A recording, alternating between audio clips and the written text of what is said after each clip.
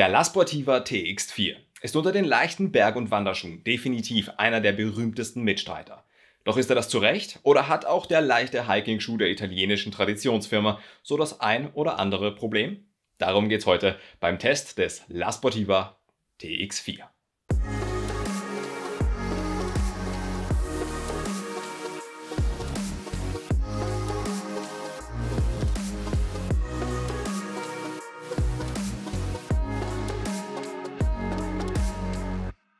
Kommen wir kurz zu den harten Fakten. Rund 490 Gramm pro Paar muss man beim TX4 einrechnen. Das sind 80 Gramm mehr als die Konkurrenz von Scarpa, der Mojito Hike auf die Waage bringt.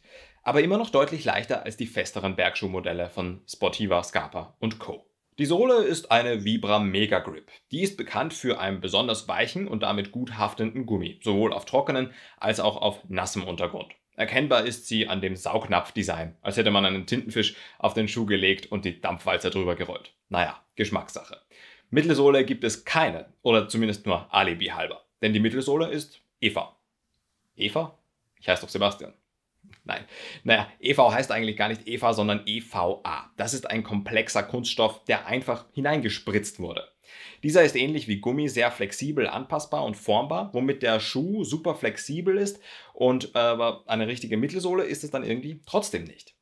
Inlay ist ein klassisches Ortholite Fußbett. Ja, schmeißt das besser raus, wenn ihr wirklich lange Weitwanderungen oder ähnliches äh, vorhabt und besorgt euch stattdessen was Vernünftiges. Ja, und damit haben wir eigentlich die harten Fakten des Schuhs schon wieder durch. Und wie immer geht's jetzt zu dem einzigen Tisch im Bergsportsegment auf YouTube, bei dem jeder sein Fett wegkriegt. Zu Sebastian an den Techniktisch. So, danke wie immer für die Steilvorlage. Wir schauen uns jetzt den TX4 mal im Detail an und wie er so aufgebaut ist und was ich denn so von ihm halte. Schauen wir uns mal wieder nur einen einzigen Schuh an und fangen wir vorne an, gehen wir nach hinten, dann nach oben und schauen uns dabei wie immer etwas die Schnürung an. Wir haben vorne einen relativ breiten Schuh, der ist wirklich breit gebaut äh, und er ist trotzdem darauf ausgelegt, möglichst kompakt zu sein.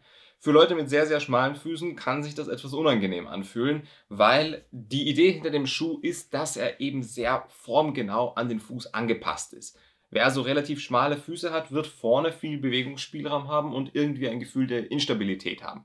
Für breite bis normale Füße ist die Breite vorne aber ziemlich genial und es fühlt sich wirklich so an, als würde man sich nur eine Socke anziehen.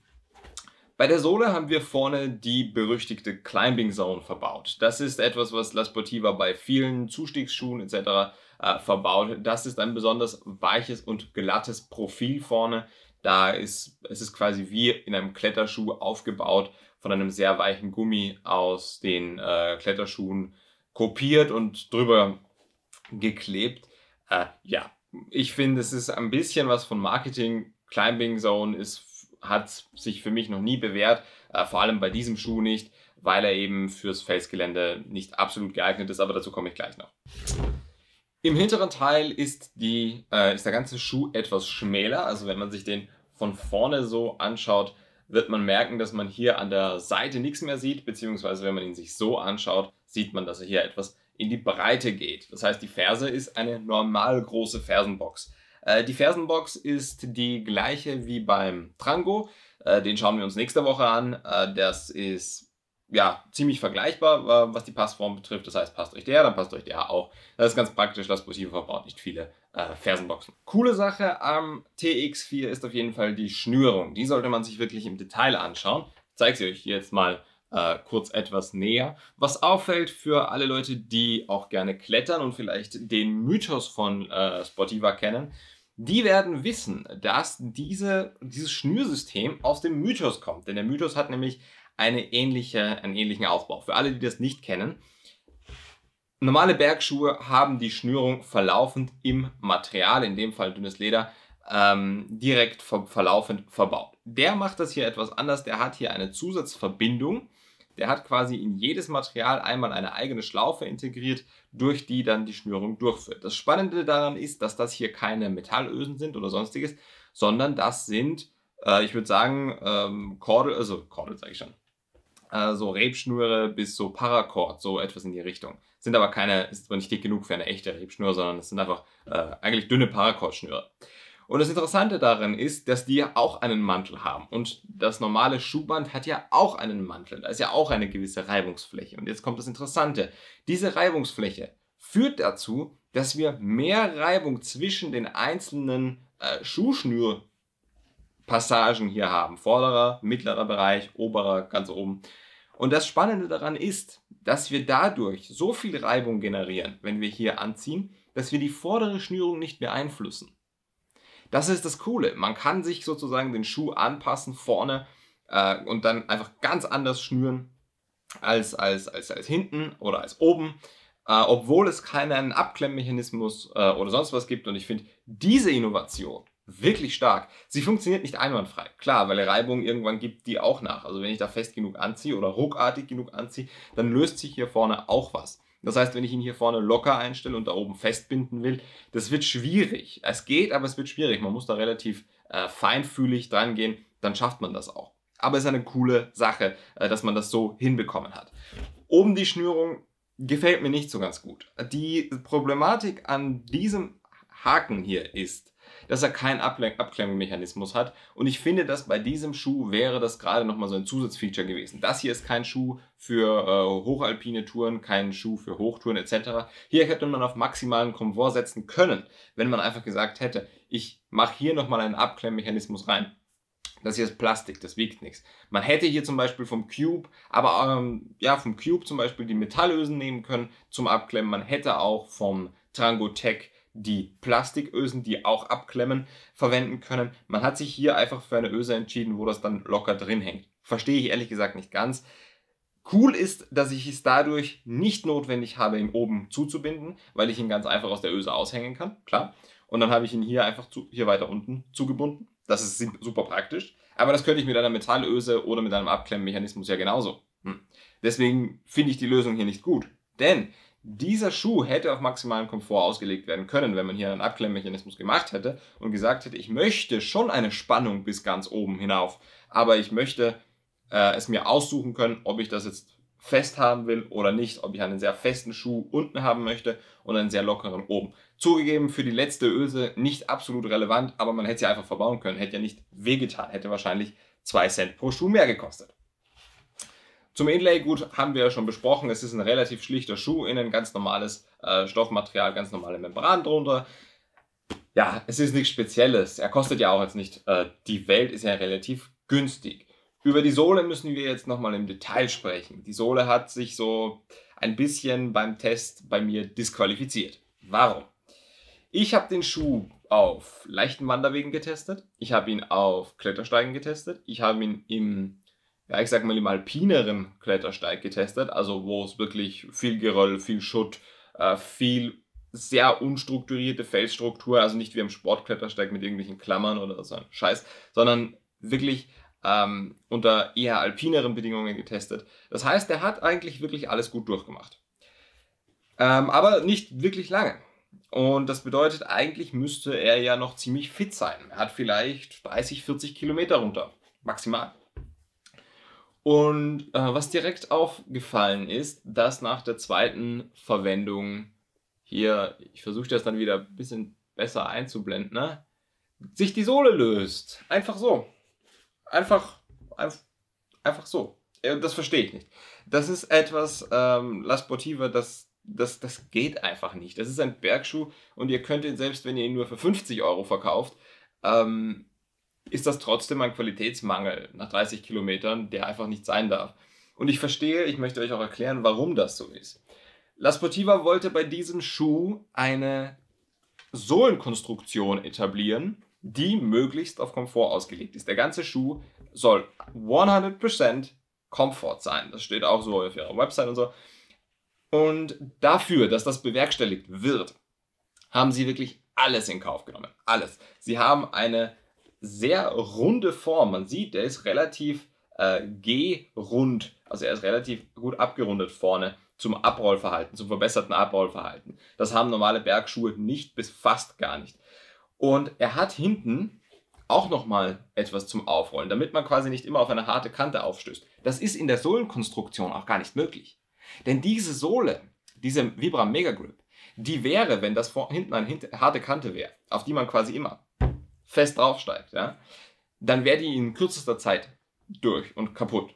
Das Problem ist aber, dass man sie deswegen jetzt hier hinten abgerundet hat. Also die ist auch im Geschäft, das ist nicht durch meinen Test, sondern die ist auch im Geschäft hinten abgerundet. Und diese Rundung, die wird hinten am, äh, an der Mittelsohle quasi mehr oder weniger festgeklebt.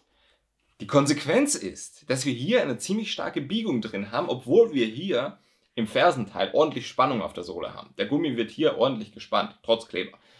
Und der Kleber, der kleine Klebeteil, das kann sich, glaube ich, jetzt jeder selber erklären, der kleine Klebeteil hier ist einfach nicht stark genug, um die Sohlenspannung des kompletten Fersenteils inklusive, das ist ja ein, ein Element, das ist ja nicht geteilt, ähm, das auszugleichen und das zu halten. Ja, und dann passiert das. Dann lösen sich hier die, äh, diese, diese Tentakel ab und, und, und äh, langfristig wird hier alles runtergehen. Und was dann passieren wird, ist, er sieht dann so aus. Das Sohlenteil hier steht gerade weg und hier ist ein Loch Richtung Mittelsohle. Und jetzt befürchte ich, dass hier dann die Mittelsohle freigelegt würde, wenn das hier aufgehen wird. Das wäre sowieso schon mal erste Katastrophe. Zweite Katastrophe. Das hier ist EVA drinnen. Das ist keine echte Mittelsohle. Hier haben wir keine Stabilität. Das ist, das ist Blödsinn einfach. Ja? Und äh, deswegen, ich sehe in der Langlebigkeit dieses Schuhs viele katastrophale Probleme. Ich glaube, der wird ähm, es ist unterschiedlich. Es kommt darauf an, wo man ihn verwendet. Wenn man ihn nur für leichte Wanderungen verwendet etc., äh, dann wird er wahrscheinlich auch seine zwei, drei Jährchen ähm, mit euch verbringen. Äh, wenn ihr aber sagt, ihr geht damit auch felsigeres Gelände, dann wird er wahrscheinlich nicht lange halten. Also äh, ich sehe da echt Verarbeitungsprobleme, große Verarbeitungsprobleme, die ich selbst bei diesem Preis einfach nicht, ja, einfach nicht akzeptieren kann. Das, äh, ja. Was habe ich noch festgestellt? Wir haben sehr empfindliche Seiten. Das aber nur im Felsgelände, wirklich. Ähm, wenn ihr sagt, ihr geht hochalpinere Klettersteige mit dem Schuh, oder ihr geht alpine Klettersteige mit dem Schuh, äh, wo man wirklich auf äh, unförmige Felsstrukturen trifft, die, wo man immer wieder mal in kleine Felsritzen reinsteigen muss, etc., weil er hat ja die Climbing Zone, er wäre ja theoretisch dafür gemacht, dass man das äh, auch so tut. In der Praxis ist es aber deswegen nicht, weil die Seiten hier sehr, sehr empfindlich sind. Also spitzere Felselemente, die in den Schuh reindrücken. Erstens mal, ich glaube, das wird er nicht lange mitmachen. Er hat zwar hier eine Verstärkung, auch auf der Innenseite hat er die Verstärkung, aber erstens mal, es fühlt sich sehr unangenehm an. Das ist Punkt 1. Und Punkt 2, äh, ich glaube, dass es in der Haltbarkeit einfach langfristig äh, nicht funktionieren wird.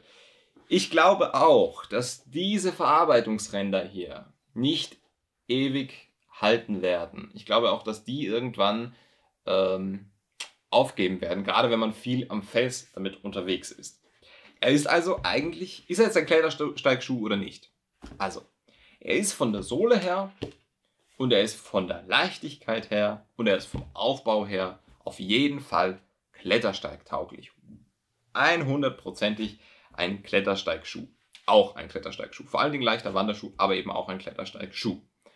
Diese äh, Fähigkeit wird aber dadurch getrübt, dass er einfach dafür irgendwie zu instabil wirkt. Auf meine, nach meinen Tests. Ich kann nur das zeigen, was ich auch getestet habe. Äh, es kann sein, dass das jetzt hier ein Verarbeitungsfehler ist und dass es hier eine einmalige Sache war und ähm, dass das bei euch definitiv nicht passieren wird. Ist aber unwahrscheinlich. Und deswegen weiß ich nicht zu Recht, was ich mit diesem Schuh machen soll.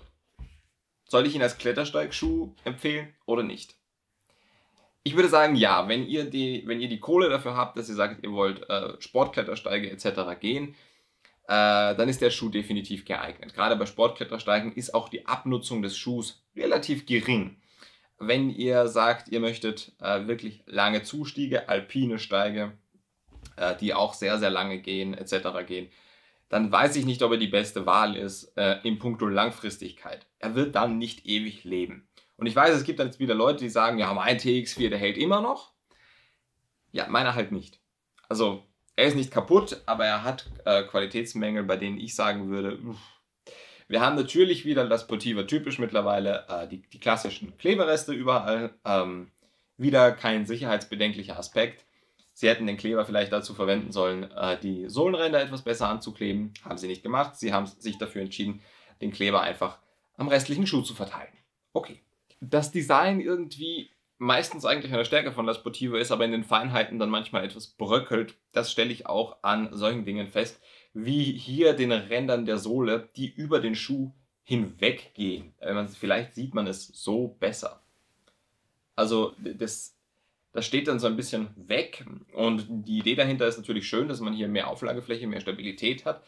Aber ich sehe hier schon wieder den nächsten Kritikpunkt und schon wieder die nächste problematische Situation, wenn ich hier jetzt auf die Außenseite mal etwas unkontrollierter wo draufsteige und nur den Außenriss hier belaste, dann glaube ich, dass dieses Gummi, also dieser, dieser Teil der Sohle, sich oftmals abbiegen wird und irgendwann wird der, wenn der spröde wird, so nach ein, zwei, drei Jahren der Gummi, äh, wird der brechen. Und dann habe ich wieder ein Loch in der Sohle. Also ich finde das Vibram Mega Grip System schon in Ordnung. Aber langlebig ist es halt auf einem Schuh für die Alpen eher nicht. Für Wanderungen, Weitwandern, kann ich ihn uneingeschränkt empfehlen. Es ist der bequemste Schuh, den ich jemals in der Hand hatte. Als, als Wanderschuh.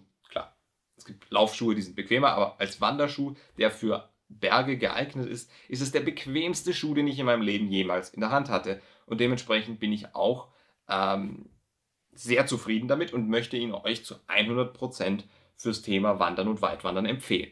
Es gibt den TX4 auch in der niedrigeren Variante. Die niedrigere Variante würde ich euch für leichte Wanderungen eher empfehlen, denn ihr werdet relativ schnell feststellen, dass ihr mit dieser Höhe weder Fleisch noch Fisch gekauft habt. Ihr habt irgendwie nicht genug Höhe und vor allen Dingen Stabilität, dazu komme ich gleich noch, dass, er, dass, sich diese, dass sich dieses hohe Modell lohnen würde. Ihr habt aber zu viel Höhe, um maximale Sprunggelenkflexibilität zu haben. Was bedeutet das? Wenn man in dem Schuh drin steht, dann ist hier alles sehr weich. Der Schuh ist auf 100% Komfort ausgelegt. Das, das erfüllt er, absolut. Aber das Problem ist, dass ich, wenn ich so weiches Material habe, dann habe ich ja sowieso keine Unterstützung. Also der, der Sinn hinter hohen Schuhen, muss ich mal ein eigenes Video dazu machen. Die Geschichte dahinter ist toll. Der Sinn hinter den hohen Schuhen ist ja ein Schutz vor dem Umknicken, was gerade für Einsteiger in den Bergsport wahnsinnig wichtig sein kann. Und da stimme ich auch absolut zu. Das Problem ist aber, wenn das hier und wenn das Material hier so weich ist, ja, schon ist er der flache TX4. Also ich muss da nicht fest zuhalten, mit einem Finger. Und es ist ein flacher TX4. Also es macht keinen Sinn das, das so zu verbauen, wie, wie soll der quasi ein ganzes, wie soll der sprunggelenksunterstützend sein? Außer dass er, also das Einzige, was er unterstützt, ist, dass mir quasi, wenn mir ein Stein gegen Sprunggelenk fällt, das nicht so weh tut. Aber sonst, keine Ahnung. Also das macht überhaupt keinen Sinn. Kauft euch für Wanderungen definitiv die, äh, die niedrige Variante. Für Klettersteiger, ja, kann man drüber reden, ob man vielleicht den hohen haben möchte. Ähm, äh, ich würde jetzt fast schon sagen, es ist also ich fand ihn für, für Geröll ganz praktisch, dass er hoch ist. Denn dann habe ich nicht das Geröll, gerade bei feinerem Geröll kennt man das, dass es einem mal ein bisschen tiefer geht äh, und dass es einem dann bis hier hoch steht. Und das ist natürlich mit einem flachen Schuh nicht so angenehm wie mit einem hohen. Aber sonst, also, ja, legt euch den niedrigen zu. Das, das bringt nichts. Ja, und zum Schluss möchte ich euch noch sagen, wie weich dieser Schuh ist das kann man sich, wenn man ihn so sieht, glaube ich, noch gar nicht so richtig vorstellen. So weich ist dieser Schuh. Ohne, ohne dass ich jetzt irgendwo im Gummi sehen würde, dass sich kleine Mikrorisse oder sonst was bilden würden. Das ist absolut absurd, wie weich das, der Mega Grip Gummi ist. Auch bedingt dadurch, dass er keine Mittelsohle hat, keine echte, sondern nur so eine eingespritzte EVA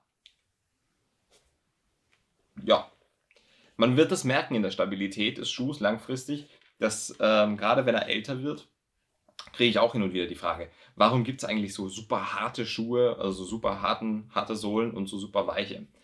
Das Problem ist, dass weiche Sohlen die, äh, die Sprödigkeit, die in jedem Gummi, egal ob weich oder hart, über die Zeit, über die Jahre, zwei, drei, vier, fünf Jahre kommt, dass die in weichen Sohlen die Auswirkung hat, dass der Gummi reißt und dann fällt die Sohle runter. Gerade wenn der Kleber trocknet. Katastrophe. Und diese Risse, die in dem Schuh entstehen, in der Sohle entstehen über die Zeit, die äh, sind beim weichen Gummi einfach eben schneller da. Nach zwei Jahren, vielleicht nach drei Jahren, je nachdem, wie viel man ihn verwendet, logischerweise. Aber die, der Alterungsprozess ist immer der gleiche vom Gummi. Bei einer harten Sohle, die sich relativ wenig bewegt, ist die Gefahr der Risse durch die Bewegung logischerweise geringer. Der Gummi ist trotzdem alt und spröde und so weiter, aber er kriegt nicht die Gelegenheit aufzubrechen. Und das kriegt er bei dem weichen Gummi halt schon. Das heißt, äh, weich ist nicht immer ein Vorteil, sondern kann auch ein Nachteil sein. Gehen wir zurück zum letzten Punkt, Anwendungsgebiet, zurück zu Sebastian. Anwendungsgebiet für den TX4 ergibt sich durch die Umstände eigentlich sehr gut. Leichte Wanderungen, leichte Steige, kürzere Klettersteige, lange Wanderwege, Weitwanderungen und Co. Hochalpine Felstouren tun dem Schuh nicht gut. Er wird sich relativ schnell bei solchen Einsätzen verabschieden. Die sehr leichte Bauweise macht einfach sehr viele Abstriche im Einsatzgebiet. Und selbst wenn man das Einsatzgebiet großzügig ausdehnen würde, wird man eben mit frühen Materialermüdungen leben müssen. Er ist nun mal vor allem ein bequemer und kein robuster Schuh und findet damit aber auch eben eine sehr gute Zielgruppe, die mehr oder weniger völlig zu Recht begeistert ist. Wer viel Geröll und Felstouren geht und viel im hochalpinen Raum unterwegs ist, sollte sich aber von diesem Schuh eher verabschieden. Wenn euch der Test gefallen hat, dann ihr wisst Bescheid. Einfach auf den Abo-Knopf drücken, kostet nichts, tut nicht weh, hilft uns aber sehr. Schreibt uns gerne in die Kommentare, ob ihr den TX4 jetzt haben wollt oder nicht. Würde uns wirklich interessieren. Bis zum nächsten Mal wünschen wir euch wie immer eine wunderschöne Zeit und Bergheil.